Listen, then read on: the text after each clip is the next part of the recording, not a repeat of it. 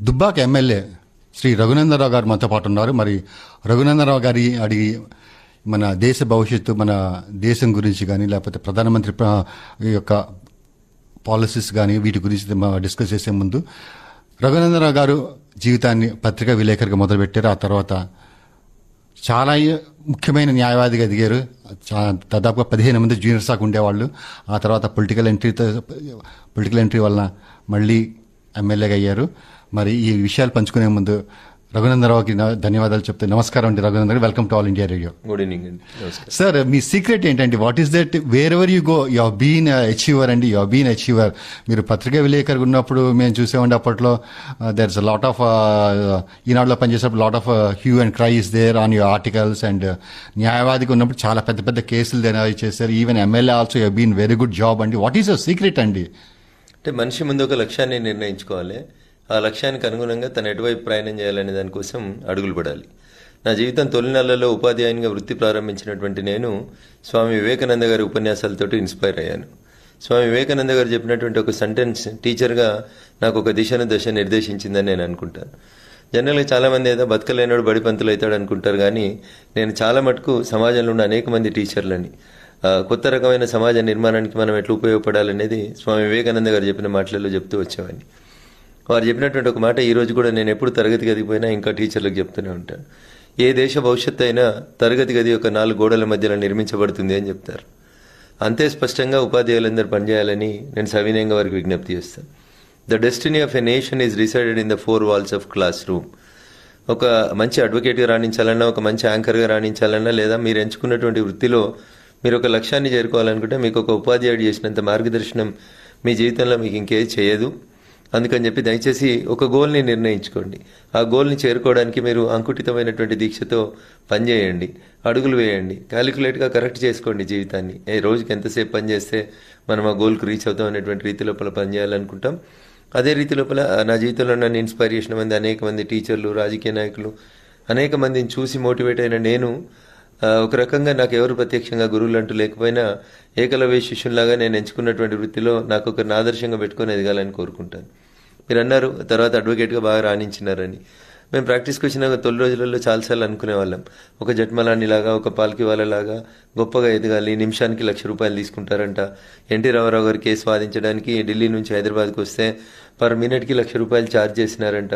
These are all big things ninety five ninety సిక్స్లో నిమిషానికి లక్ష రూపాయలు ఛార్జ్ చేస్తారట అంటే అది గొప్ప ఇన్స్పిరేషన్ అనిపించేది. ఒకసారి జట్మలాని గారు ఢిల్లీ నుంచి ఏదో కేసులో వాదించడానికి వస్తే వారిని చూడడానికి హైకోర్టుకి వెళ్ళినాం.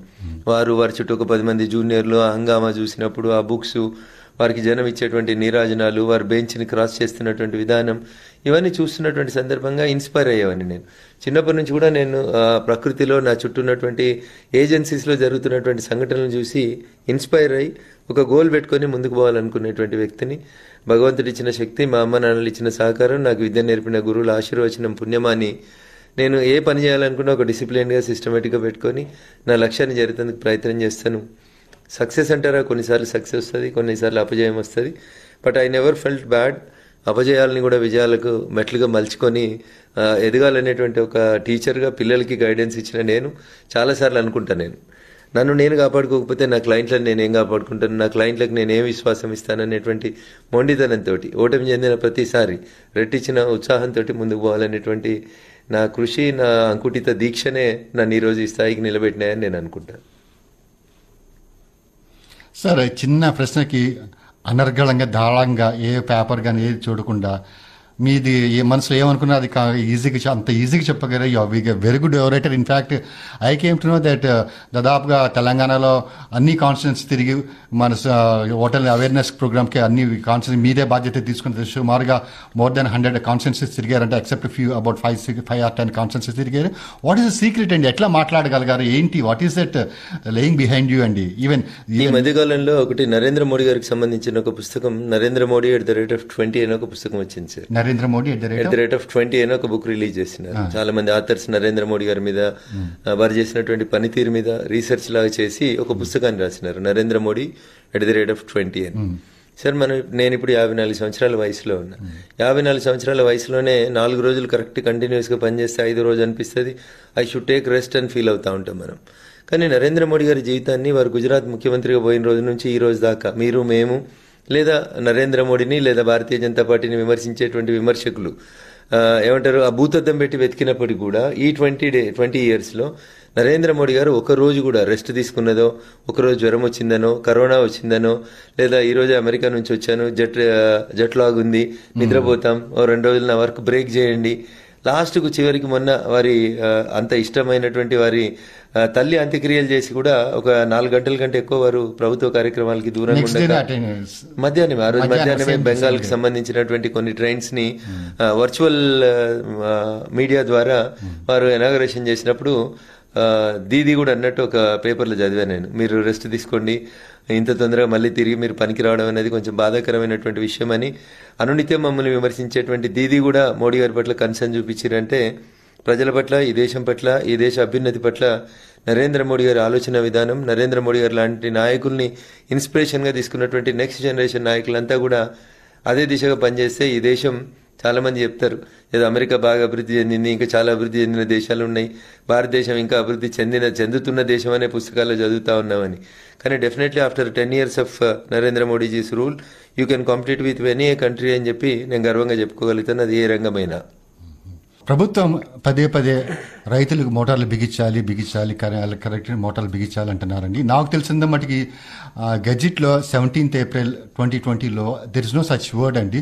మీరు now can you clarify with the licenses and? Every every one అండి is it true that government has really asked fix meters అనేది ఏ విషయం అండి? ఇంకా చాలా మంది అయోమయ స్థితిలో కొంతమంది నమ్ముతున్నారు కొంతమంది నమ్మట్లేదు మా అలాంటి వాళ్ళు అయితే we have seen the gazette అండి seventeenth April I think twenty twenty I believe so అండి. మీరు what do say what does it says అండి మీరు క్లియర్గా చెప్పగలరా మా శ్రోతలకి? సో నిండు శాసనసభలో ముఖ్యమంత్రి గారు కూడా ఇదే విషయాన్ని అబద్ధం చెప్పినారని నేను అదే రోజు శాసనసభలో ఖండించాను.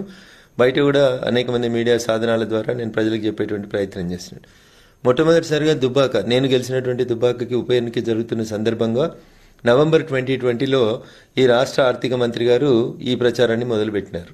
దుబ్బాకలో బీజేపీ గెలిస్తే మోటార్లకి మీటర్లు వస్తాయనేటువంటి నినాదాన్ని దుబ్బాక ఉప ఎన్నిక సందర్భంగా నవంబర్ ట్వంటీ ట్వంటీ రోజు ఆర్థిక మంత్రి నా ఎలక్షన్ ప్రచారం లోపల మొదలుపెట్టినారు. అదే మాట నవంబర్ ఇరవై ఇరవై ఒకటిలో ఈటల ఇందర్ గారు ఎలక్షన్స్ అప్పుడు కూడా చెప్పారు. అదే రకంగా నవంబర్ ట్వంటీ ట్వంటీ టూలో వచ్చిన మునుగోడు ఉప ఎన్నికల సందర్భంగా కూడా ఇదే ప్రచారం చేసినారు. నేను ఒకటే అడిగాను వారిని. భారత ప్రభుత్వం భారత పార్లమెంట్లో ప్రవేశపెట్టినటువంటి బిల్లు అది చట్ట రూపంలోకి రాలేదు ఇంకా. దాన్ని స్టాండింగ్ కమిటీకి పంపించినారు. ఒక గెజిట్ని భారత ప్రభుత్వం ఇచ్చింది.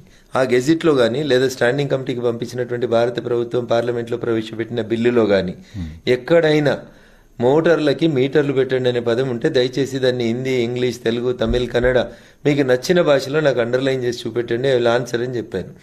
దానికి ఏం సమాధానం చెప్పట్లేదు. పైపెచ్చి మీరు Telangana ERC electricity regulatory commission అని ఒక కమిషన్ ఉంటుంది. దాని గౌరవనీయులు తన్నీరు శ్రీరంగారావు గారు చైర్మన్ శ్రీరంగారావు గారు శ్రీరంగారావు గారు ఫోన్ మీడియాతో మాట్లాడుతూ ఒక స్టేట్మెంట్ ఇచ్చినారు. ప్రేక్షకులందరూ కూడా వినే ఉంటారు చూసే ఉంటారు. మళ్ళీ ఒకసారి నేను మీ ద్వారా ప్రేక్షకుల దృష్టికి తీసుకురావాలనుకుంటు శ్రోతల దృష్టికి తీసుకురావాలనుకుంటున్నటువంటి అంశం. శ్రీరంగారావు గారు ఏం చెప్పినారంటే మేము మోటార్లకు మీటర్లు పెట్టాలని కోరుకోవట్లేదు. బట్ ట్రాన్స్ఫార్మర్ దగ్గర ఈచ్ అండ్ ఎవ్రీ ట్రాన్స్ఫార్మర్ దగ్గర మేము మీటర్ పెట్టి ఆ ట్రాన్స్ఫార్మర్ నుంచి ఆ విలేజ్కి ఎంత కరెంటు వాడుకుంటున్నారు అనేది మాత్రం మేము మెజర్ చేయాలని అనుకుంటున్నాము అన్నారు. అంతెందుకు సార్ ఇప్పుడు మీరు మీ అబ్బాయికి ఐదు వందల రూపాయలు ఇచ్చి కూరగాయలు తీసుకురండి అని మార్కెట్కి పంపిస్తే కూరగాయలు తీసుకొని వచ్చిన తర్వాత ఎన్ని డబ్బులు మిగిలినాయి బిడ్డ అని అడుగుతామా దట్ ఈస్ ఖర్చు that is the financial discipline sir అది. వ్యక్తుల దగ్గర నుంచి మొదలవుతున్నటువంటి ఈ డిసిప్లిన్ అన్ని వ్యవస్థలలో ఉండాలని ప్రభుత్వం కోరుకుంటుంది.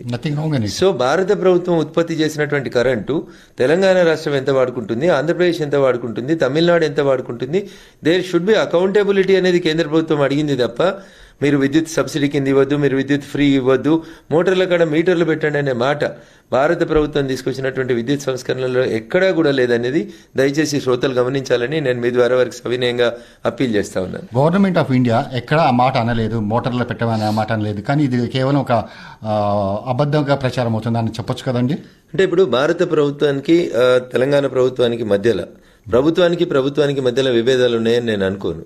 భారతీయ జనతా పార్టీ కేంద్రంలో అధికారంలో ఉంది కాబట్టి భారతీయ జనతా పార్టీ భవిష్యత్తులో తెలంగాణ రాష్ట్రంలో అధికారంలోకి రావాలనుకుంటుంది కాబట్టి పొలిటికల్గా భారతీయ జనతా పార్టీని మలయం చేయాలని ముఖ్యమంత్రి గారు కానీ ఇతర మంత్రులు కానీ అట్లా మాట్లాడితే అది దురదృష్టకరం. ప్రభుత్వాలు ప్రభుత్వాల మధ్యన సమస్యలు ఉన్నప్పుడు మాట్లాడుకోవడాన్ని నేను స్వాగతిస్తాను. ఎందుకంటే ప్రపంచవ్యాప్తంగా ఏ సమస్య వచ్చినా అది పాలస్తీనా సమస్య వచ్చినా లేకపోతే భారతదేశంలో నక్సలైట్ల సమస్య వచ్చినా యాసర్ అరాఫతి పంచాయతీ వచ్చినా ఆయుధాలు పట్టుకొని ప్రభుత్వాల మీద యుద్ధాలు ప్రకటించిన సమస్యలు వచ్చినా కానీ అల్టిమేట్గా ప్రభుత్వాలు ఏం చేసినాయంటే చర్చల ద్వారానే ఆ సమస్యలు పరిష్కారం అవుతాయని సంపూర్ణంగా నమ్ముతున్నటువంటి డెమోక్రటిక్ కంట్రీలో బతుకుతున్న మనం నిజంగా if there is anything wrong TRS party is also having almost fourteen fifteen MPs in the Indian democratic scenario వాళ్ళు పార్లమెంట్లో రైజ్ చేయొచ్చు. లేదా ఉత్తరం రాయొచ్చు లేదా విద్యుత్ శాఖ మంత్రిని కలవచ్చు.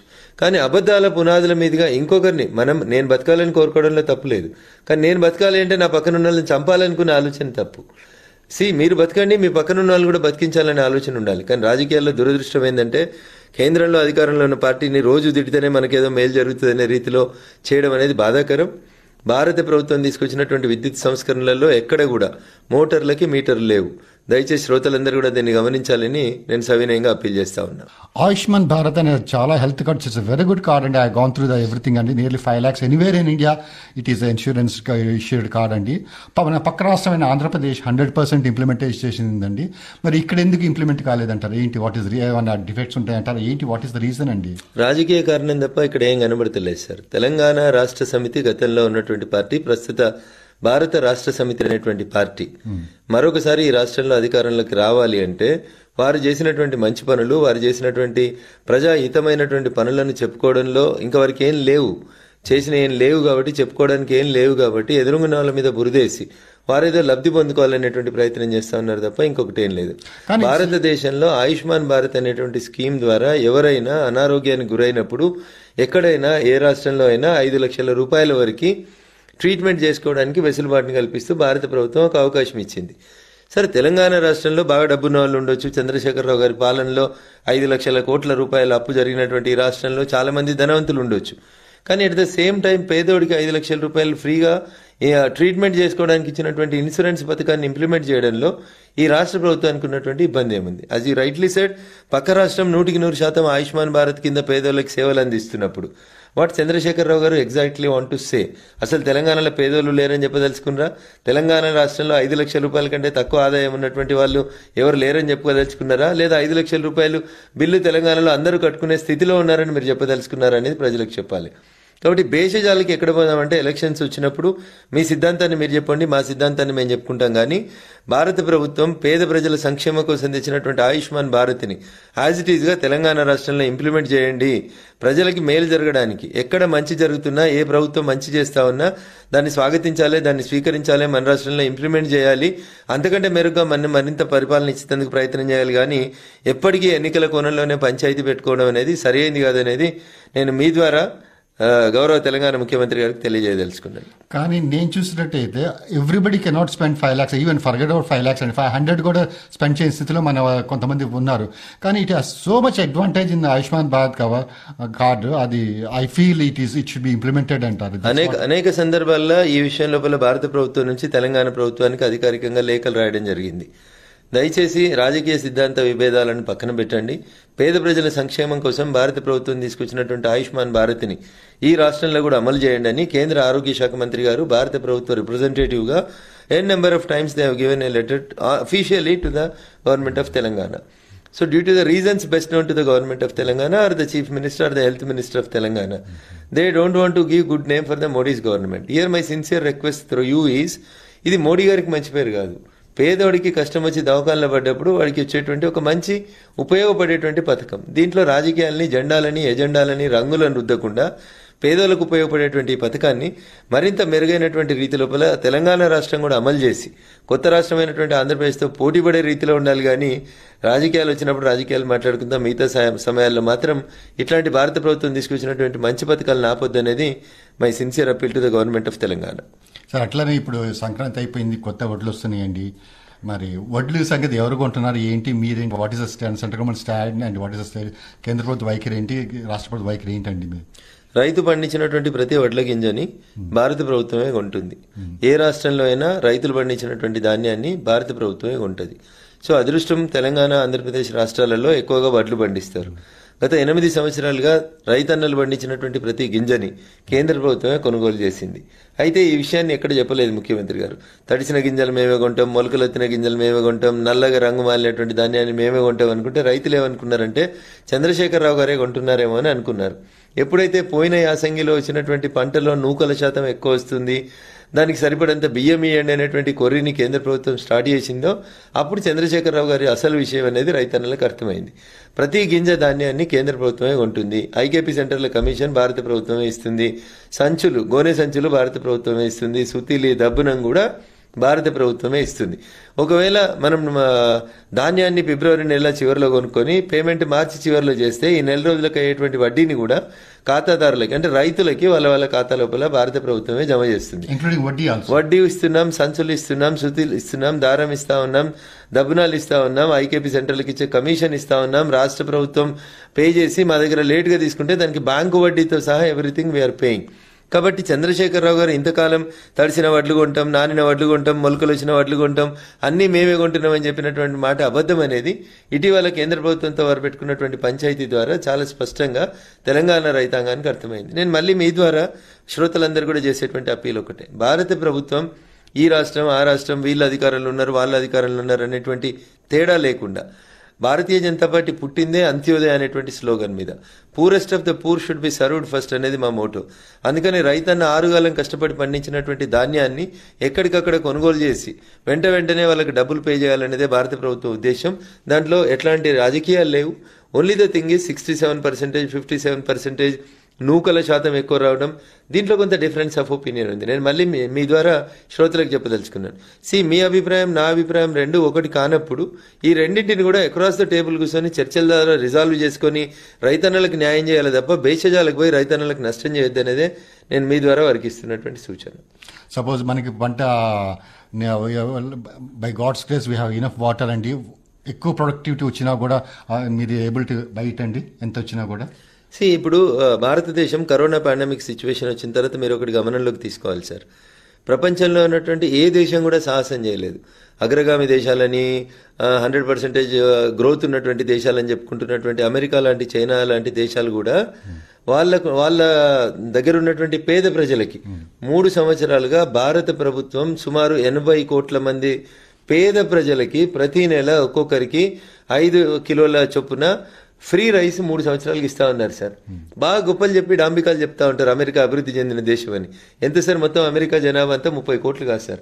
ముప్పై కోట్ల జనాభాకి మూడు రోజులు అన్నం పెట్టమంటే కష్టపడేటువంటి అభివృద్ధి చెందిన దేశాలు ఇక్కడ ఎనభై కోట్ల మంది భారత పేద ప్రజలకి మూడు సంవత్సరాలుగా ఉచితంగా మనిషి ఒక్కటికి ఐదు కిలోల రైస్ ఇస్తున్నటువంటి భారత ప్రభుత్వం యొక్క ముందు చూపు ఎంత దూరం ఉందనేది మీరు ఒకసారి ఆలోచించారు అందుకనే ఫుడ్ సెక్యూరిటీ యాక్ట్ కింద ప్రతి గింజని రైతన్న పండించిన ప్రతి గింజని భారత ప్రభుత్వమే కొనుగోలు చేస్తుంది గోదాములలో నిల్వ చేస్తూ ఉంది అవసరం ఉన్నప్పుడు పేద ప్రజలకు ఉచితంగా పంపిస్తూ ఉంది.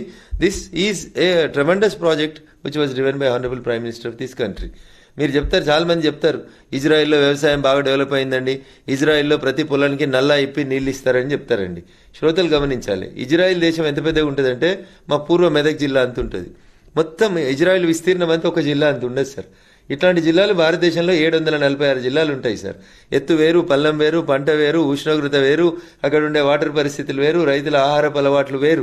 ఇంకా ఇజ్రాయెల్ లాంటి దేశాన్ని తీసుకొని వచ్చి ఇజ్రాయెల్ కరోనాను కంట్రోల్ చేసిందని ఒక ఆయన చెప్తాడు ఇంకొక ఆయన చెప్తాడు ఇజ్రాయెల్లో ప్రతి పొలానికి నల్లతోటి నీళ్ళు ఇస్తారట అని చెప్తారు. ఏం మాట్లాడుతున్నారు జనం అనేది దేశం కావచ్చు పేరుకి. కానీ భారతదేశం జనాభా ఎంత? భారతదేశం జనాభా డెన్సిటీ ఎంత?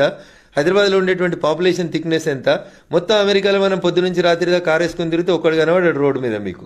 హైదరాబాద్లో ఒక్కసారి జనాన్ని చూడరు కర్ఫ్యూ పెడితే కూడా జనం రోడ్ల మీద కనబడతారు. ఈ పరిస్థితిని ఆ దేశంతో ఎట్లా పోల్చి కంపేర్ చేస్తారు మీరు? కాబట్టి భారత ప్రభుత్వం నరేంద్రుడి నాయకత్వం లోపల చాలా స్పష్టంగా అంత్యోదయ అనేటువంటి కాన్సెప్ట్కి మేము కట్టుబడి ఉన్నాం కాబట్టి ఏడు దశాబ్దాల తర్వాత ఇంకా పొద్దున్న లేస్తే చెంబట్టుకొని చెరువు గట్టుకు పోయేటువంటి ఆడపిల్లల ఆత్మాభిమానాన్ని రక్షించేందుకు స్వచ్ఛ భారత్ కింద టాయిలెట్లు కట్టించినాం. సుమారు నలభై కోట్ల టాయిలెట్లను కట్టి ఈ దేశంలో ప్రతి పంచాయతీని కేంద్ర పథకం అంటారా? నూటికి నూరు శాతం స్వచ్ఛ భారత్ అనే పథకం నరేంద్ర మోడీ ఆలోచన అది. టాయిలెట్స్ నూటికి నూరు శాతం టాయిలెట్స్ స్వచ్ఛ భారత్లోనే టాయిలెట్స్. హైదరాబాద్లో వచ్చిన టాయిలెట్స్ మీరు చూడండి ఇంతకుముందు హైదరాబాద్లో ఉన్న టాయిలెట్స్ అన్ని ఇప్పుడు స్వచ్ఛ భారత్ కింద వచ్చిన టాయిలెట్స్ అన్ని ఒకసారి ఆలోచించుర్రి. పేరు చెప్పడానికి బాగా చెప్తామండి. నాలుగు బంగ్లాలు కట్టి రెండు అద్దాలు పెట్టుడు కాదు. ఈ హైదరాబాద్ పాపులేషన్లో కోటి ముప్పై లక్షల హైదరాబాద్ జనాభాలో జనాభా పొద్దు నుంచి సాయంత్రం దాకా రోడ్డు మీద ఉండేటువంటి వాళ్ళు ఎవరు? అందులో ఉద్యోగస్తులు ఎంతమంది? మహిళా సోదరి మనల్ని ఎంతమంది రోడ్డు మీద ఉంటారు? పొద్దున ఇంట్లోంచి బయటికి వెళ్ళిన ఒక సోదరి టాయిలెట్ ఎక్కడ అటెండ్ అవుతుంది? ఏం పరిస్థితి అనేది ఒకసారి ఆలోచించాలి. ఇవన్నీ స్వచ్ఛ భారత్ కింద రాకపోతే ఎక్కడి నుంచి వచ్చినాయి చెప్పండి? కేంబ్రిడ్జ్లో ఆక్స్ఫర్డ్లో చదువుకున్నటువంటి గొప్ప గొప్పలకు రానటువంటి ఆలోచన రైల్వే ప్లాట్ఫామ్ మీద ఛాయ్ అమ్ముకున్న నరేంద్రుడికి వస్తే కదా ఈరోజు ప్రతి ఊర్లో ప్రతి ఇంటి ముందు ఒక టాయిలెట్ నిర్మాణం జరిగింది. అట్లా చెప్తే మీరు అన్ని మాటలు చెప్తా ఉంటారు. మన్మోహన్ సింగ్ గారు ఈ ప్రపంచాన్ని గొప్ప మేధావి ఆర్థిక మేధావి పెద్ద రెవల్యూషన్ తీసుకొచ్చిర్రు. పివి నరసింహరావు గారు భారతదేశంలో సంస్కరణలు తీసుకొచ్చారు అని చెప్తారు. I don't want to criticize on the basis of the party but మీరు ఒకటి ఆలోచించుర్రి. ఇప్పటికీ మేము పల్లెటూరు పోతే ఒక ఆటో డ్రైవర్ యాక్సిడెంట్ అయి చనిపోతే తోటి ఆటో డ్రైవర్లు పది మంది మనిషికి ఐదు వందలు వెయ్యి వేసి అక్కడ వాళ్ళకి దహన సంస్కారాలు చేసే దుస్థితి నుంచి. ఈ దేశానికి ఒక సోషల్ సెక్యూరిటీ ఇవ్వాలి. నెలకొక రూపాయి చొప్పున సంవత్సరానికి పన్నెండు రూపాయలు కడితే కడితే ప్రమాదవశాత్తు ఎవరైనా చనిపోతే ఆ చనిపోయినటువంటి వ్యక్తి కుటుంబానికి రెండు లక్షల రూపాయలు బీమా లభించాలనేటువంటి ఆలోచన చేసింది మళ్ళీ నరేంద్రుడు తప్ప కేంబ్రిడ్జ్లో ఆక్స్ఫర్డ్లో చదువుకున్న మన్మోహన్ సింగ్లు చిదంబరాలకి రాలేదు ఈ ఆలోచనలు. So a poor person who is from a poor family who knows the problems of the poor families ఈ only come down to the earth నెలకొక రూపాయి ఎంత కష్టమండి? కష్టమా? నెలకు ఒక రూపాయిని జమ చేసి సంవత్సరానికి పన్నెండు రూపాయలు ఇస్తే ప్రమాదవశాత్తు చనిపోతున్నటువంటి పేద కుటుంబానికి రెండు లక్షల బీమా. మీకు రెండు లక్షలు తక్కువ అనిపిస్తుండొచ్చు. కానీ ఒక చనిపోయిన ఆటో డ్రైవర్ కుటుంబానికి ఒక రిక్షా పుల్లర్ కుటుంబానికి ఒక కూలీ పని చేస్తున్నటువంటి కుటుంబానికి ఎస్ ఇరవై ఐదు ముప్పై సంవత్సరాల వయసు మధ్యలో ఒక ప్రమాదం జరిగి ఒకరు చనిపోతే ఆ కుటుంబంలో ఉన్న భార్య పిల్లలు రోడ్డు మీద పడకూడదనే ఉద్దేశం కొద్ది. భారతదేశానికి సోషల్ సెక్యూరిటీ తీసుకొచ్చినటువంటి నాయకుడు ఈ దేశ ప్రధాని గౌరవనీయులు నరేంద్ర మోడీ గారు. దీన్ని కూడా రాజకీయ కోణం లోపల విమర్శిస్తే ఇంకేం చేస్తాను చెప్పండి? మా ఊర్లలో మేమంతా వ్యవసాయ కుటుంబాలకి వెళ్ళి వచ్చినాం. పొద్దంతా కూలీలు పనిచేసి కూలీ పనిచేసి పొద్దుకి వ్యవసాయ క్షేత్రం నుంచి ఇంటికి పోయేటప్పుడు రోడ్డు పక్కన పొలాలలో పాడుబడి ఎండిపోయినటువంటి చెట్లని కట్టెలని ఏరుకొని మోపు కట్టుకొని పొద్దుకి ఇంటికి పోయి పొయ్యి వెలిగించేటువంటి అవ్వ కళ్ళకెళ్ళి వస్తున్న పొగ కన్నీరు ఫలితంగా వస్తున్న క్యాన్సర్ని కంట్రోల్ చేయడానికి ఉజ్వల పథకం కింద సుమారు తెలంగాణలో పదిహేను లక్షలు దేశవ్యాప్తంగా పదిహేను కోట్ల మంది ఆడపడుచులకి అడగకుండానే గ్యాస్ కనెక్షన్ ఇచ్చినటువంటి ప్రభుత్వం నరేంద్రుడి పథకం. ఇంకా వేర్ వీఆర్ వర్కింగ్. పొద్దున్నేస్తే ఇద్దరి కోసం చేస్తుర్రు దోస్తుల కోసం చేస్తుర్రు అంబానీల కోసం చేస్తుర్రు ఆదానీల కోసం చేస్తుర్రు అని దుర్మార్గమైనటువంటి ఆరోపణలు చేస్తున్న వాళ్ళకి ఎందుకు నలభై కోట్ల మందికి మేము కట్టించిన బాత్రూమ్లు ఎందుకు కనబడతలేవు? పదిహేను కోట్ల మందికి మేము ఇచ్చిన సిలిండర్లు ఎందుకు కనబడతలేవు?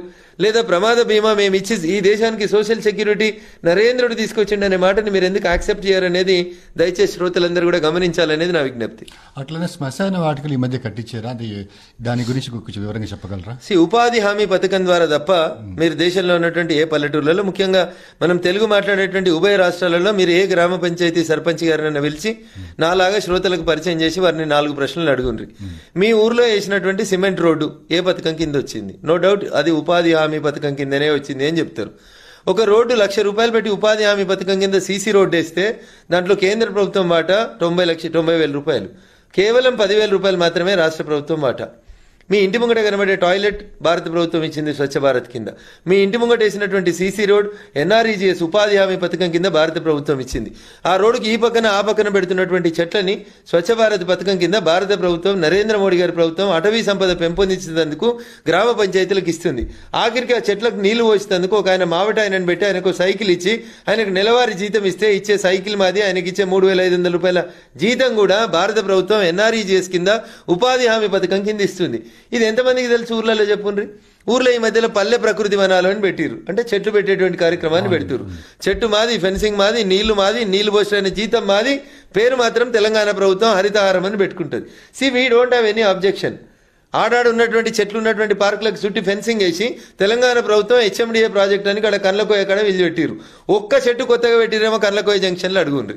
ఉన్న చెట్ల చుట్టూ గోడ కట్టి దానికి ఒక గ్రీన్ బోర్డు పెట్టి తెలంగాణ ప్రభుత్వం ఆక్సిజన్ పార్క్ అని పెట్టిరు కళ్ళకోయ కాడ వాళ్ళ మంత్రి కాలేజీకి ఎదురుగా పెట్టుకున్నారు పార్కు.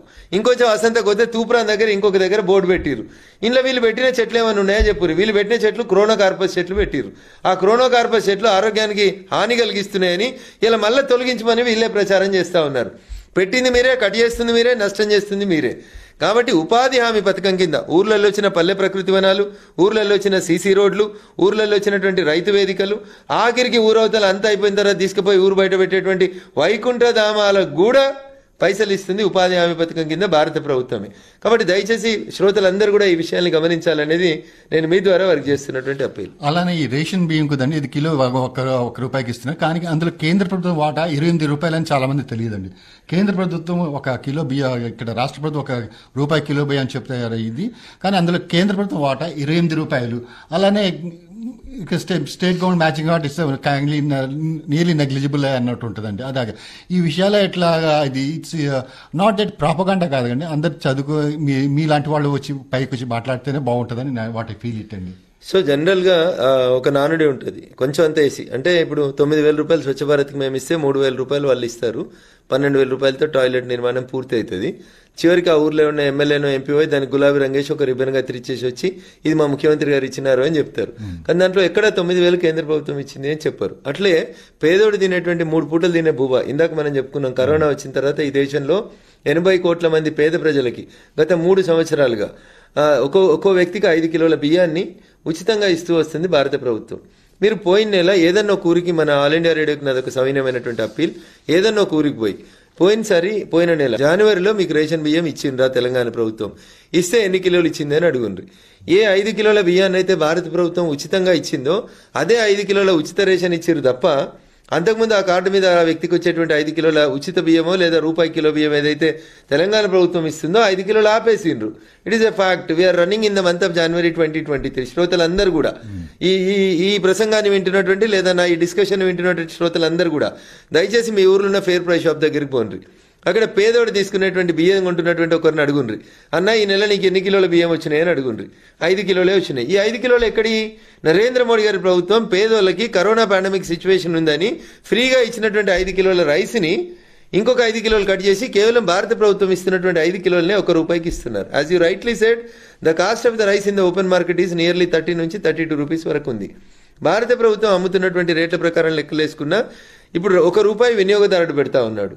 అది సుమారు ముప్పై ముప్పై రెండు రూపాయలు ఉండేటువంటి రైస్ అయితే ఒక రూపాయి వినియోగదారుడు పెడుతున్నాడు. భారత ప్రభుత్వం ఇరవై ఎనిమిది రూపాయలు ఇస్తుంది. సుమారు చంద్రశేఖరరావు గారు తెలంగాణ ప్రభుత్వం రెండు రూపాయలు ఇస్తుంది. అంటే ఇంత ఇత్తేసి పొత్తుగూడి రేషన్ కార్డుల మీద వచ్చేటువంటి బియ్యాన్ని కూడా మేమే ఇస్తా ఉన్నామని చెప్పి చంద్రశేఖరరావు గారు చెప్పుకుంటా ఉంటారు. మొత్తం మేమే ఇస్తా ఉన్నామని చెప్తలేం. ఎస్ రెండు రూపాయలు చంద్రశేఖరరావు గారు ఇస్తున్న మాట నిజం. కానీ ఇరవై ఎనిమిది రూపాయలు ఇచ్చిన మోడీ గారి గురించి మాట్లాడడానికి వారికి ఇష్టం ఉండదు కానీ రెండు రూపాయలు ఇచ్చినటువంటి చంద్రశేఖరరావు గారి బొమ్మ రేషన్ కార్డుల మీద వేసుకొని ప్రతి రేషన్ దుకాణం దగ్గర చంద్రశేఖరరావు గారు బొమ్మ వేసి ఒక ఫ్లెక్సీ పెట్టి మాత్రం బియ్యం అమ్ముకుంటారు.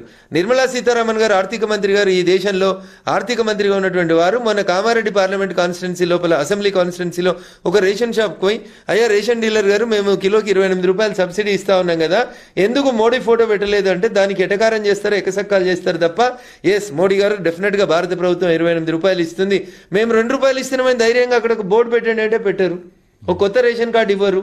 ఎందుకు ఇవ్వరు అంటే కొత్త రేషన్ కార్డు ఇస్తే దాని మీద నరేంద్ర మోడీ గారు ఫోటో వేయాల్సి వస్తుంది అనేది వీళ్ళకున్న భయం so this is how the Telangana government is doing injustice on the schemes which are given by the government of India sir అట్లానే ఈ పోడు భూముల సమస్య అనేది ఇక దానికి పరిష్కారం ఏంటంటే ఈ మధ్యన శ్రీనివాసరావు గారు ఒక అటవీ అధికారి చనిపోవడం జరిగింది. ఈ పోడు భూముల సమస్య గురించి మీరేం చె- మీ సమాధానం ఏంటండి? సార్ మీరు మంచి గుర్తు చేశారు శ్రీనివాసరావు గారు ఈ- రోజు ఉదయమే శ్రీనివాసరావు గారు బ్రదర్ ఇన్లో నాకు కాల్ చేశారు. వాళ్ళకి సమస్య ఉంది అన్నారు.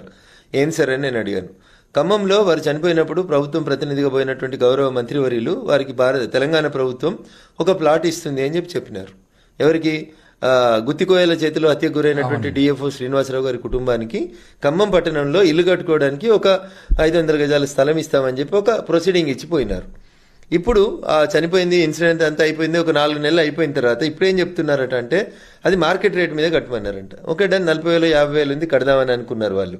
అంతా అయిపోయి వీళ్ళు కడతాను డబ్బులు అని చెప్పి అక్కడికి వెళ్ళే సమయానికి తీరా ఇప్పుడు కొత్త మెలికి ఏం పెడుతున్నారంటే అది కోర్టు వివాదాలలో ఉంది. ఈ స్థలం వద్దన్నారండి. మీకు మళ్ళీ వేరే స్థలం ఎక్కడైనా కేటాయిస్తాం ఊరు బయట అని చెప్తా ఉన్నారంట. So this is administration of the Telangana government is ruling ఆయన చనిపోయినాడు. గుత్తికోయల చేతిలో హత్యకు గురైనటువంటి ఒక అధికారి. మీ అంతలో మీరే వాలంటీర్కి వెళ్ళి ప్రభుత్వం ఒక ఇళ్ళ స్థలం ఇస్తుందన్నారు. సరే మార్కెట్ రేట్ కడతామన్నారు. కడతాందుకు రెడీ అయినారు? అది ఊరు మధ్యలో ఉంది కమర్షియల్ యాక్టివిటీ చేసుకుంటూ. నో నో నో మీకు ఈ స్థలం ఇవ్వండి ఊరు బయట ఎక్కడో ఇస్తామని చెప్తే ప్రభుత్వ రేటుకు అమ్మాయికి ఇస్తా ఉన్నారు మీరు. చనిపోయిన శ్రీనివాసరావు గారి కుటుంబానికి ఇస్తా ఉన్నారు. You're not giving on the free cost అండి. సో ఇంత దుర్మార్గంగా జరుగుతా ఉంది. ఇక మీరు అడిగిన పోడు భూముల పంచాయతీకి వస్తే జల్ జంగల్ జమీన్ కోసం కొట్లాడినటువంటి కొమరం భూమి కొమరం భీం పుట్టినటువంటి గడ్డ తెలంగాణ గడ్డ. మేమంతా తెలంగాణ ఉద్యమం చేసేటప్పుడు ప్రతిరోజు కొమరం భీముని సాకల ఐలమ్మని దొడ్డి కొమరయ్యని గుర్తు చేసుకోకుండా తెలంగాణ ఉద్యమం జరగలేదు ఈ గడ్డ మీద. తెలంగాణ ప్రజల రక్తంలోనే తిరుగుబాటు అనేటువంటి నేచర్ ఉంది. నాటి నిజాం నవాబుకు వ్యతిరేకంగా కొట్లాడినప్పుడు కూడా మా అక్క జల్లెళ్ళు బట్టలు ఇప్పించి బతుకమ్మలాడిచ్చే ప్రయత్నం చేస్తే చాటలు చీపిర్లు కారం పొడి తీసుకొని కాసిం రజ్వీ సైన్యాన్ని ఎదురు తిరిగి కొట్టినటువంటి గడ్డ ఇది. ఈ గడ్డ మీద జల్ జంగల్ జమీన్ కోసం అనేక మంది పోడు భూముల కోసం కొట్లాడుతూ ఉంటే ఉన్న పోడు భూములకు సర్టిఫికెట్లు ఇవ్వలేక. మీరేం చేస్తా ఉన్నారు? దానికి ఏదో ఎంక్వైరీ అన్నారు మళ్ళీ. మాకు ముఖ్యమంత్రి గారు వన్ ఇయర్ బ్యాక్ జరిగినటువంటి నిండు శాసనసభలో రా- దే- రాష్ట్ర ప్రజలందరికీ ఆయన చెప్పిన మాట ఏంటంటే నెల రోజులలో ఎమ్మెల్యేల అధ్యక్షతనల్లా మీ ఊర్లలో పోడు భూమి కమిటీలు వస్తాయి. ఆరు నెలల్లో మీకు పోడు భూములకు పట్టాలు ఇస్తామని చెప్పారు చెప్పి ఎలడికి ఏడాది అవుతుంది మళ్ళీ ఎలక్షన్స్ దగ్గరకు వస్తున్నాయి. ఈ రోజు దాకా కూడా పోడు భూముల సమస్య ఇంకా అపరిష్కృతంగానే ఉంది. కాబట్టి బాధాకరం. ముఖ్యమంత్రి గారు నోరుతో నవ్వుతారు నొసలతో ఎక్కిరిస్తారు ఒక్క సమస్యను కూడా ఎనిమిదిన్నర ఏళ్ళ కొల పరిష్కరించలేకపోవడం అనేది బాధాకరం. కాబట్టి శ్రోతలందరికీ కూడా నేను సవినయంగా చేసేటువంటి అప్పీల్. ఈ రాష్ట్రంలో ఉన్నటువంటి మీడియా మా చేతుల్లో లేకపోవచ్చు పేపర్లు మా చేతుల్లో లేకపోవచ్చు కానీ మీ ఆలోచన విధానం మీ పోరాట స్ఫూర్తిని నేను మళ్ళీ మీకు ఒకసారి రిమైండ్ చేస్తా ఉన్నా. కుమరం భీములు చాకలి ఐలమ్మలు అనేక మంది అమరులై తెలంగాణ తెచ్చుకున్నటువంటి ఈ రాష్ట్రంలో తెలంగాణ రాష్ట్ర ప్రజల ఆకాంక్ష సామాజిక తెలంగాణ కావాలి. నూటికి యాభై ఐదు శాతం ఉన్నటువంటి బీసీలకి మూడు మంత్రి పదవులు వస్తాయి. ఒక్క శాతం లేని ముఖ్యమంత్రి గారి సామాజిక వర్గానికి నాలుగు మంత్రి పదవులు వస్తాయి. తెలంగాణ కాంపోజిషన్లో నూటికి ఎనభై ఐదు శాతం బీసీ ఎస్సీ ఎస్టీ మైనార్టీలు ఉన్నటువంటి ఈ రాష్ట్రంలో సామాజిక తెలంగాణలో సామాజిక కోణంలో రావాలి. మీరు ఇస్తున్నారా అని ఎవరైనా అడుగుతారు కావచ్చు. ఎస్ డెఫినెట్గా పన్నెండు మంది మహిళలకు మేము మంత్రి పదవులు ఇచ్చినాం. పన్నెండు మంది ఎస్సీలకు మంత్రి పదవులు ఇచ్చినాం. ఎనిమిది మంది మైనార్టీ సోదరులకి కేంద్ర కేబినెట్లో మంత్రి పదవులు ఇచ్చినాం. ఎనిమిది మంది గిరిజనులకు ఇచ్చినాం.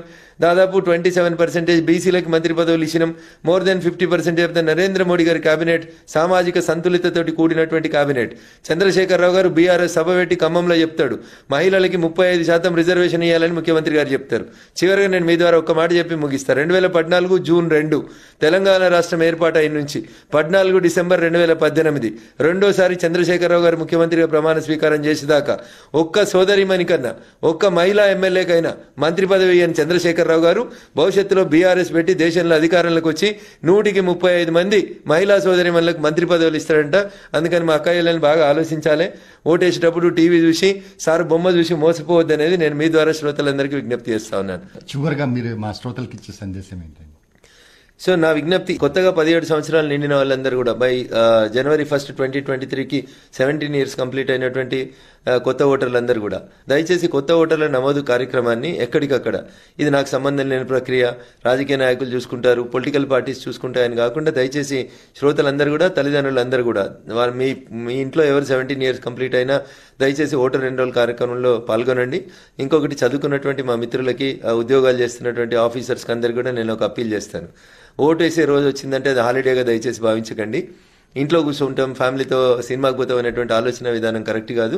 ఎడ్యుకేటెడ్ అయినటువంటి మనం ఓటేయాలి వేయాలి. ఈ దేశ డెమోక్రసీ లోపల మీరు పాల్పంచుకోవాలి మంచి నాయకులను ఎన్నుకోవడం లోపల మీ పాత్ర ఎంతైనా ఉంటుంది కాబట్టి దయచేసి ఓటర్ దినోత్సవం సందర్భంగా మరొకసారి భారతదేశంలో ఓటర్లుగా నమోదైన వాళ్ళకి కొత్తగా నమోదు కాబోతున్నటువంటి ఓటర్లందరికీ కూడా జాతీయ ఓటర్ దినోత్సవం సందర్భంగా శుభాకాంక్షలు అభినందనలు తెలియజేస్తూ మీ ఓటు విలువ ఈ దేశ ప్రధానమంత్రిని ఈ ఈ రాష్ట్ర ముఖ్యమంత్రి నిర్ణయిస్తుంది. మీరేసేటువంటి ఓటు ఈ దేశ భవిష్యత్తును మారుస్తుంది కాబట్టి దయచేసి నూటికి నూరు శాతం పోలింగ్ లోపల మీరు పార్టిసిపేట్ కావాలని చదువుకున్నటువంటి మా మిత్రులందరూ కూడా సవినయంగా అప్పీల్ చేస్తా ఉన్నాను. ఎందుకు చదువుకున్న వాళ్ళకి అప్పీల్ చేస్తా ఉన్నా అంటే ఎప్పుడు పోలింగ్ అయినా తెల్లారి మీరు పేపర్లలో చూస్తే వీల్ చైర్లలో వచ్చి ఒక అవ్వ ఓటేసిపోతుంది తొంభై ఏళ్ళ ముసలమని మంచం మీద ఎత్తుకొని వచ్చి ఓటేపిస్తారు. కానీ ఎక్కడైతే బంజారా హిల్స్లు జూబ్లీ హిల్స్లు కాలనీలు టౌన్షిప్లు బాగా చదువుకున్న వాళ్ళు ఉంటారో లక్షల రూపాయల జీతాలు తీసుకునేటువంటి టాప్ కేటగిరీ జనం నివసిస్తారో అక్కడ ఎంత పోలింగ్ అయిందని పొద్దుగల పేపర్లో చూస్తామంటే ఇరవై ఏడు శాతం ఇరవై తొమ్మిది శాతం ముప్పై శాతం అయిందని చూస్తాం. గ్రామీణ భారతంలో తొంభై శాతం తొంభై ఏడు శాతం. నేను చెప్తున్నా శతాధిక వృద్ధులు కూడా వచ్చి ఓట్లు వేసేటువంటి ప్రస్తుతం మన దేశంలో. దయించి మేధావులారా మీ మౌనం ఈ దేశానికి నష్టం కలిగిస్తుంది. కాబట్టి చదువుకున్నటువంటి మా మిత్రులందరూ కూడా ఓటింగ్ ప్రక్రియలో పాల్గొనాలి.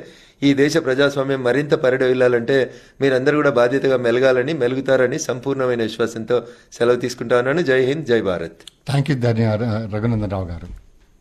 దుబ్బాక ఎమ్మెల్యే శ్రీ రఘునందనరావు గారు మనతో పాటు ఉన్నారు. మరి రఘునందనరావు గారి అడిగి మన దేశ భవిష్యత్తు మన దేశం గురించి కానీ లేకపోతే ప్రధానమంత్రి ఈ యొక్క పాలసీస్ కానీ వీటి గురించి డిస్కస్ చేసే ముందు రఘునందనరావు గారు జీవితాన్ని పత్రికా విలేకరిగా మొదలుపెట్టారు. ఆ తర్వాత చాలా ముఖ్యమైన న్యాయవాదిగా ఎదిగారు. దాదాపుగా పదిహేను మంది జూనియర్ సాక్ ఉండేవాళ్ళు.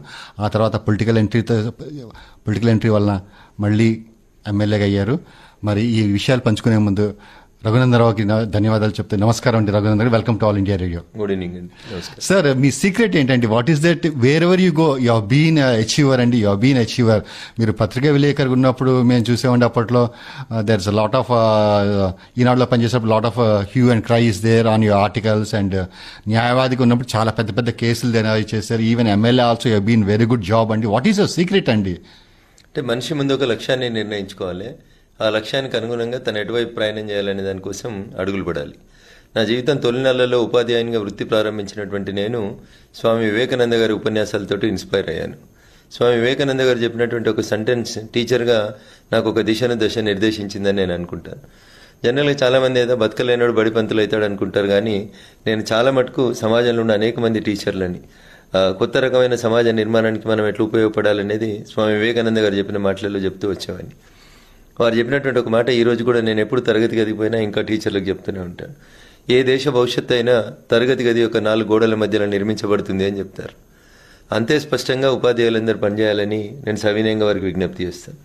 The destiny of a nation is resided in the four walls of classroom. ఒక మంచి అడ్వకేట్గా రాణించాలన్నా ఒక మంచి యాంకర్గా రాణించాలన్నా లేదా మీరు ఎంచుకున్నటువంటి వృత్తిలో మీరు ఒక లక్ష్యాన్ని చేరుకోవాలనుకుంటే మీకు ఒక ఉపాధ్యాయుడు చేసినంత మార్గదర్శనం మీ జీవితంలో మీకు ఇంకేది చేయదు. అందుకని చెప్పి దయచేసి ఒక గోల్ని నిర్ణయించుకోండి. ఆ గోల్ని చేరుకోవడానికి మీరు అంకుటితమైనటువంటి దీక్షతో పనిచేయండి. అడుగులు వేయండి. క్యాలిక్యులేట్గా కరెక్ట్ చేసుకోండి జీవితాన్ని. ఏ రోజుకి ఎంతసేపు పనిచేస్తే మనం ఆ గోల్కి రీచ్ అవుతాం అనేటువంటి రీతి లోపల పనిచేయాలనుకుంటాం. అదే రీతి లోపల నా జీవితంలో నన్ను ఇన్స్పైర్ చేసిన మంది అనేక మంది టీచర్లు రాజకీయ నాయకులు అనేక మందిని చూసి మోటివేట్ అయిన నేను ఒక రకంగా నాకు ఎవరు ప్రత్యక్షంగా గురువులు అంటూ లేకపోయినా ఏకలవ్య శిష్యుల్లాగా నేను ఎంచుకున్నటువంటి వృత్తిలో నాకు ఒకరిని ఆదర్శంగా పెట్టుకొని ఎదగాలని కోరుకుంటాను. మీరు అన్నారు తర్వాత అడ్వకేట్గా బాగా రాణించినారని. మేము ప్రాక్టీస్కి వచ్చిన తొలి రోజులలో చాలాసార్లు అనుకునే వాళ్ళం ఒక జట్మలానిలాగా ఒక పాల్కి వాళ్ళలాగా గొప్పగా ఎదగాలి నిమిషానికి లక్ష రూపాయలు తీసుకుంటారంట. ఎన్టీ రామారావు గారి కేసు వాదించడానికి ఢిల్లీ నుంచి హైదరాబాద్కి వస్తే పర్ మినిట్కి లక్ష రూపాయలు ఛార్జ్ చేసినారంట.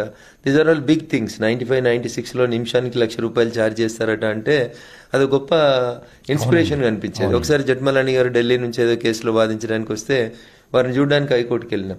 వారు వారి చుట్టూ ఒక పది మంది జూనియర్లు ఆ హంగామా చూసినప్పుడు ఆ బుక్స్ వారికి జనం ఇచ్చేటువంటి నీరాజనాలు వారి బెంచ్ని క్రాస్ చేస్తున్నటువంటి విధానం ఇవన్నీ చూస్తున్నటువంటి సందర్భంగా ఇన్స్పైర్ అయ్యేవాడిని నేను. చిన్నప్పటి నుంచి కూడా నేను ప్రకృతిలో నా చుట్టూ ఉన్నటువంటి ఏజెన్సీస్లో జరుగుతున్నటువంటి సంఘటనలు చూసి ఇన్స్పైర్ అయ్యి ఒక గోల్ పెట్టుకొని ముందుకు పోవాలనుకునేటువంటి వ్యక్తిని. భగవంతుడు ఇచ్చిన శక్తి మా అమ్మ నాన్నలు ఇచ్చిన సహకారం నాకు విద్య నేర్పిన గురువుల ఆశీర్వచనం పుణ్యమాని. నేను ఏ పని చేయాలనుకున్నా ఒక డిసిప్లిన్గా సిస్టమేటిక్గా పెట్టుకొని నా లక్ష్యాన్ని జరిగేందుకు ప్రయత్నం చేస్తాను. సక్సెస్ అంటారా? కొన్నిసార్లు సక్సెస్ వస్తుంది కొన్నిసార్లు అపజయం వస్తుంది. But I never felt bad అపజయాలని కూడా విజయాలకు మెట్లుగా మలుచుకొని ఎదగాలనేటువంటి ఒక టీచర్గా పిల్లలకి గైడెన్స్ ఇచ్చిన నేను చాలాసార్లు అనుకుంటా నేను. నన్ను నేను కాపాడుకోకపోతే నా క్లయింట్లను నేను ఏం కాపాడుకుంటాను? నా క్లయింట్లకు నేను ఏం విశ్వాసం ఇస్తాననేటువంటి మొండితనంతో ఓటమి చెందిన ప్రతిసారి రెట్టించిన ఉత్సాహంతో ముందుకు పోవాలనేటువంటి నా కృషి నా అంకుటిత దీక్షనే నన్ను ఈరోజు ఈ స్థాయికి నిలబెట్టినాయని నేను అనుకుంటాను సార్ చిన్న ప్రశ్నకి అనర్గళంగా దాళంగా ఏ పేపర్ కానీ ఏది చూడకుండా మీది ఏ మనసులో ఏమనుకున్నా అది ఈజీగా అంత ఈజీగా చెప్పగలరు. You very good writer in fact I came to know that దాదాపుగా తెలంగాణలో అన్ని కాన్స్టిట్యూన్స్ తిరిగి మన హోటల్ అవేర్నెస్ ప్రోగ్రామ్కి అన్ని కాన్స్టిట్యూన్స్ మీదే బాధ్యత తీసుకుని సుమారుగా more than hundred constituencies తిరిగారంటే. Except few about five six five or ten constituencies తిరిగారు. వాట్ ఈస్ ద సీక్రెట్ అండి? ఎట్లా మాట్లాడగలిగారు? ఏంటి? What is that laying behind you అండి? ఈవెన్ ఈ మధ్యకాలంలో ఒకటి నరేంద్ర మోడీ గారికి సంబంధించిన ఒక పుస్తకం Narendra Modi at the rate of twenty అనే ఒక పుస్తకం వచ్చింది sir Narendra Modi at the rate of twenty అని ఒక బుక్ రిలీజ్ చేసినారు. చాలా మంది ఆథర్స్ నరేంద్ర మోడీ గారి మీద వారు చేసినటువంటి పనితీరు మీద రీసెర్చ్ లాగా చేసి ఒక పుస్తకాన్ని రాసినారు. Narendra Modi at the rate of twenty అని. సార్ మనం నేను ఇప్పుడు యాభై నాలుగు సంవత్సరాల వయసులో ఉన్నా. యాభై నాలుగు సంవత్సరాల వయసులోనే నాలుగు రోజులు కరెక్ట్ కంటిన్యూస్గా పనిచేస్తే ఐదు రోజు అనిపిస్తుంది. ఐ షుడ్ టేక్ రెస్ట్ అని ఫీల్ అవుతా ఉంటాం మనం. కానీ నరేంద్ర మోడీ గారి జీవితాన్ని వారు గుజరాత్ ముఖ్యమంత్రిగా పోయిన రోజు నుంచి ఈ రోజు దాకా మీరు మేము లేదా నరేంద్ర మోడీని లేదా భారతీయ జనతా పార్టీని విమర్శించేటువంటి విమర్శకులు. ఏమంటారు? ఆ భూతద్దం పెట్టి వెతికినప్పటికీ కూడా ఈ ట్వంటీ డే ట్వంటీ ఇయర్స్లో నరేంద్ర మోడీ గారు ఒక రోజు కూడా రెస్ట్ తీసుకున్నదో ఒక రోజు జ్వరం వచ్చిందనో కరోనా వచ్చిందనో లేదా ఈ రోజు అమెరికా నుంచి వచ్చాను జట్ జట్ లాగ్ ఉంది నిద్రపోతాం ఓ రెండు రోజులు నా వర్క్ బ్రేక్ చేయండి లాస్ట్కు చివరికి మొన్న వారి అంత ఇష్టమైనటువంటి వారి తల్లి అంత్యక్రియలు చేసి కూడా ఒక నాలుగు గంటల కంటే ఎక్కువ వారు ప్రభుత్వ కార్యక్రమాలకి దూరంగా ఉండగా మధ్యాహ్నం ఆ రోజు మధ్యాహ్నం మధ్యాహ్నమే same బెంగాల్కి సంబంధించినటువంటి కొన్ని ట్రైన్స్ని ఆ, వర్చువల్ మీడియా ద్వారా వారు ఇనాగరేషన్ చేసినప్పుడు దీది కూడా అన్నట్టు ఒక పేపర్లో చదివాను నేను. మీరు రెస్ట్ తీసుకోండి. ఇంత తొందరగా మళ్ళీ తిరిగి మీరు పనికి రావడం అనేది కొంచెం బాధాకరమైనటువంటి విషయం అని అనునిత్యం మమ్మల్ని విమర్శించేటువంటి దీది కూడా మోడీ గారి పట్ల కన్సర్న్ చూపించారంటే ప్రజల పట్ల ఈ దేశం పట్ల ఈ దేశ అభ్యున్నతి పట్ల నరేంద్ర మోడీ గారి ఆలోచన విధానం నరేంద్ర మోడీ గారు లాంటి నాయకుల్ని ఇన్స్పిరేషన్గా తీసుకున్నటువంటి నెక్స్ట్ జనరేషన్ నాయకులంతా కూడా అదే దిశగా పనిచేస్తే ఈ దేశం చాలామంది చెప్తారు ఏదో అమెరికా బాగా అభివృద్ధి చెందింది ఇంకా చాలా అభివృద్ధి చెందిన దేశాలు ఉన్నాయి భారతదేశం ఇంకా అభివృద్ధి చెందిన చెందుతున్న దేశం అనే పుస్తకాల్లో చదువుతా ఉన్నామని. కానీ definitely after ten years of Narendra Modiji's rule you can compete with any country అని చెప్పి నేను గర్వంగా చెప్పుకోగలుగుతాను అది ఏ రంగమైనా. ప్రభుత్వం పదే పదే రైతులకు మోటార్లు బిగించాలి బిగించాలి కరెక్ట్ మోటార్లు బిగించాలి అంటున్నారండి. నాకు తెలిసింది మటుకి గెజిట్లో సెవెంటీన్త్ ఏప్రిల్ ట్వంటీ ట్వంటీలో there is no such word అండి. మీరు now can you clarify with the licenses and? Every every one అండి is it true that government has really asked fix meters అనేది ఏ విషయం అండి? ఇంకా చాలా మంది అయోమయ స్థితిలో కొంతమంది నమ్ముతున్నారు కొంతమంది నమ్మట్లేదు మా అలాంటి వాళ్ళు అయితే we have seen the gazette అండి. Seventeenth April I think twenty twenty I believe so అండి. మీరు what do say what does it says చేసండి మీరు క్లియర్గా చెప్పగలరా మా శ్రోతలకి? సో నిండు శాసనసభలో ముఖ్యమంత్రి గారు కూడా ఇదే విషయాన్ని అబద్ధం చెప్పినారని నేను అదే రోజు శాసనసభలో ఖండించాను. బయట కూడా అనేక మంది మీడియా సాధనాల ద్వారా నేను ప్రజలకు చెప్పేటువంటి ప్రయత్నం చేస్తున్నాను. మొట్టమొదటిసారిగా దుబ్బాక నేను గెలిచినటువంటి దుబ్బాకకి ఉప ఎన్నిక జరుగుతున్న సందర్భంగా నవంబర్ ట్వంటీ ట్వంటీలో ఈ రాష్ట్ర ఆర్థిక మంత్రి గారు ఈ ప్రచారాన్ని మొదలుపెట్టినారు. దుబ్బాకలో బీజేపీ గెలిస్తే మోటార్లకి మీటర్లు వస్తాయనేటువంటి నినాదాన్ని దుబ్బాక ఉప ఎన్నిక సందర్భంగా నవంబర్ ట్వంటీ ట్వంటీ రోజు ఆర్థిక మంత్రి నా ఎలక్షన్ ప్రచారం లోపల మొదలుపెట్టినారు. అదే మాట నవంబర్ ఇరవై ఇరవై ఒకటిలో ఈటల ఇందర్ గారు ఎలక్షన్స్ అప్పుడు కూడా చెప్పారు. అదే రకంగా నవంబర్ ట్వంటీ ట్వంటీ టూలో వచ్చిన మునుగోడు ఉప ఎన్నికల సందర్భంగా కూడా ఇదే ప్రచారం చేసినారు. నేను ఒకటే అడిగాను వారిని. భారత ప్రభుత్వం భారత పార్లమెంట్లో ప్రవేశపెట్టినటువంటి బిల్లు అది చట్ట రూపంలోకి రాలేదు ఇంకా. దాన్ని స్టాండింగ్ కమిటీకి పంపించినారు. ఒక గెజిట్ని భారత ప్రభుత్వం ఇచ్చింది. ఆ గెజిట్లో కానీ లేదా స్టాండింగ్ కమిటీకి పంపించినటువంటి భారత ప్రభుత్వం పార్లమెంట్లో ప్రవేశపెట్టిన బిల్లులో కానీ ఎక్కడైనా మోటార్లకి మీటర్లు పెట్టండి అనే పదం ఉంటే దయచేసి దాన్ని హిందీ ఇంగ్లీష్ తెలుగు తమిళ్ కన్నడ మీకు నచ్చిన భాషలో నాకు అండర్లైన్ చేసి చూపెట్టండి ఐ ఆన్సర్ అని చెప్పాను దానికి ఏం సమాధానం చెప్పట్లేదు. పైపెచ్చు మీరు Telangana ERC electricity regulatory commission అని ఒక కమిషన్ ఉంటుంది. దాని గౌరవనీయులు తన్నీరు శ్రీరంగారావు గారు చైర్మన్. శ్రీరంగారావు గారు. మీడియాతో మాట్లాడుతూ ఒక స్టేట్మెంట్ ఇచ్చినారు. ప్రేక్షకులందరూ కూడా వినే ఉంటారు చూసే ఉంటారు. మళ్ళీ ఒకసారి నేను మీ ద్వారా ప్రేక్షకుల దృష్టికి తీసుకురావాలనుకుంటు శ్రోతల దృష్టికి తీసుకురావాలనుకుంటున్నటువంటి అంశం. శ్రీరంగారావు గారు ఏం చెప్పినారంటే మేము మోటార్లకు మీటర్లు పెట్టాలని కోరుకోవట్లేదు. బట్ ట్రాన్స్ఫార్మర్ దగ్గర ఈచ్ అండ్ ఎవ్రీ ట్రాన్స్ఫార్మర్ దగ్గర మేము మీటర్ పెట్టి ఆ ట్రాన్స్ఫార్మర్ నుంచి ఆ విలేజ్కి ఎంత కరెంటు వాడుకుంటున్నారు అనేది మాత్రం మేము మెజర్ చేయాలని అనుకుంటున్నాము అన్నారు. అంతెందుకు సార్ ఇప్పుడు మీరు మీ అబ్బాయికి ఐదు వందల రూపాయలు ఇచ్చి కూరగాయలు తీసుకురండి అని మార్కెట్కి పంపిస్తే కూరగాయలు తీసుకొని వచ్చిన తర్వాత